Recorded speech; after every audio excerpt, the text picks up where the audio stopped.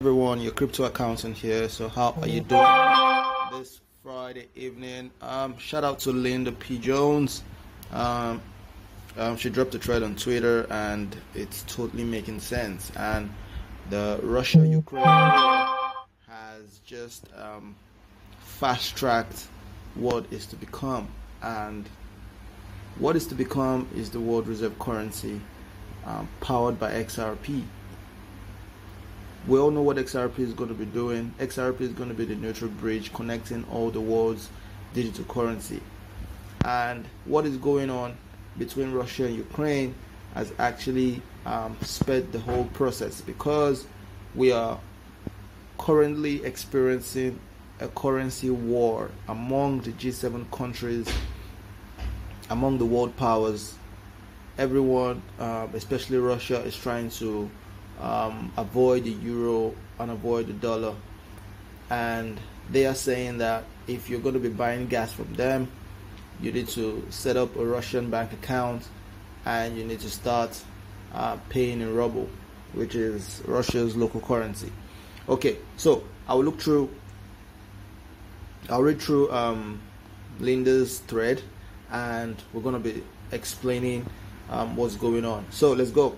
So the trade says, I could foresee a scenario where Russia stops delivering gas because Russia refuses to accept unfriendly currencies, and those currencies are euro and the dollar. And so Russia is demanding rubles. The contract state payment is to be in euros and dollars. Putin is firm on this. So going down, the G7 countries say that the contracts cannot be altered. This is the contract that have been entered into by Russia and Euro- and the eurozone and the United States. So if you're making if the, if if if the euro countries are making payments are paying for gas, they are meant to pay in euro, especially the 19 countries that are uh, under the eurozone, as well as the US. The US is meant to pay using the US dollar, and countries that are using the SWIFT payment system, they are meant to use the US dollar. But so G7 countries are saying that the countries cannot be altered. The feeling is one I have had. The feeling is one that I have had since the beginning. That that it is absolutely not simple to change the currency of payments without violating the contracts. That's what it is because it is a contract, and those terms need to abide, need to be, you know, um, complied with. And if we are going to, uh, if you're going to alter it, then that means you're going to be violating the contract. Russia is demanding natural gas payments in rubles, and you know that is going to alter the contract. So, Linda is also saying that to be clear, the US and the EU want to pay in their own currencies, which is euro and um, the US dollar. But Russia wants rubles. So, what is the solution? This is where we come in as uh, XRP holders. This is where we come in as the superheroes and we save the day. Um, arbitration will take months, according to the articles, you know, and for for we to, the beautiful thing is this is going to happen, guys. This is going to happen, and it's going to happen fast.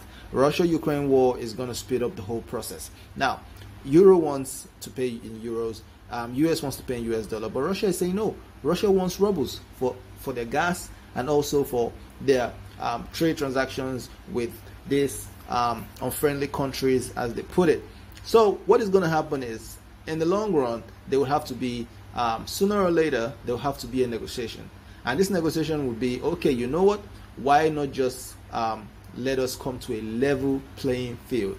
Let's take a neutral currency that would not be yours, not be mine, but we can use that currency to be able to carry out trade. And that's where XRP comes in. XRP is going to be bridging this trade between Russia and the G7 countries, Russia and the Eurozone, Russia and the United States, um, which is going to put SWIFT's payment system at the back burner. So, this is where XRP holders come in, guys. So going on, however, they could pass crypto laws faster than planned. Now, instead of 180 days, so they can publicly use the XRP ledger, which would allow for G7 countries to pay in euro and dollars and Russia will receive that payment in rubles. So we already know how the the the, the Ripple system works. Um, US is going to pay US dollar, Euro is going to pay with Euro. It's going to pass through the XRP ledger, and at the receiving end, Russia is going to receive rubles. This is simple as it is. With gas shortages and, sh- and food shortages on the horizon, time is of the essence. We must solve this problem now.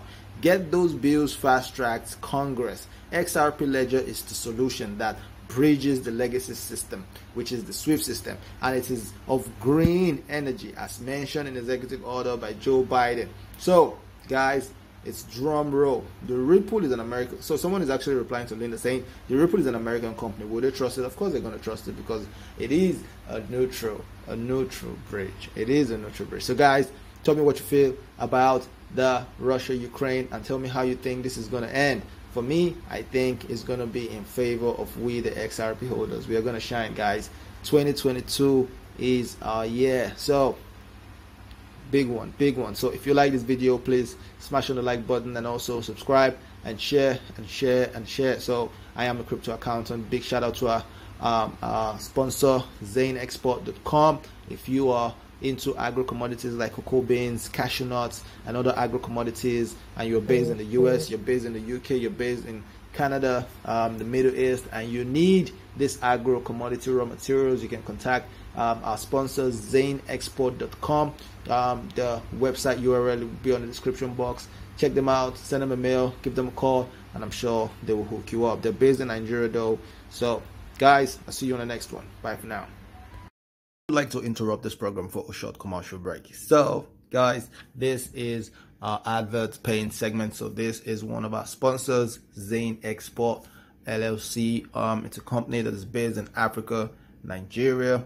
What they do is they supply agro commodities to every part of the world from Nigeria, Africa. So ZaneExport.com is the website if you want to check them out. So if you're in the US, uh, you're in Canada, you're in Europe, um, you're in the Middle East, wherever continent you are, and you find yourself maybe probably you're a merchant for agro commodities or you're an end user um, you're into um, agro allied production um, processes, then make you want to make Zane Export Limited your vendor partner. So looking at what they provide, um, going through the products.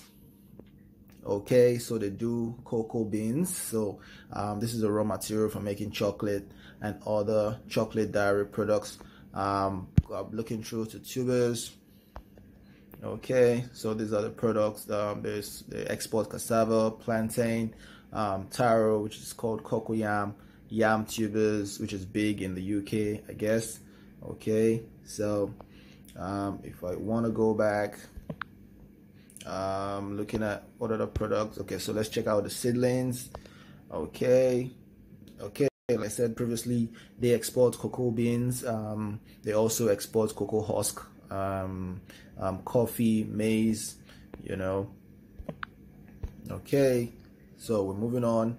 Um, other products which they export, a little bit of rubber, cotton, gum arabic, which is a raw material for making um, chewing gum and all that. So um, if this looks like a company you want to do business with, okay, you can reach them um, going through to the contact. You can reach them on um, the following address. Call the numbers and also send them an email. And I'm sure someone will get over to you. And I think you can also reach them on on Instagram, which is Zane Export NG. Yeah, Zane Export NG. I think you can reach them on Instagram and send them a DM. So, um, Zane Export is our partner, and you want to show them some love. Follow them on Instagram and also visit the website it's zaneexport.com and do good business with them. So this is the end of the commercial break. Back to the video.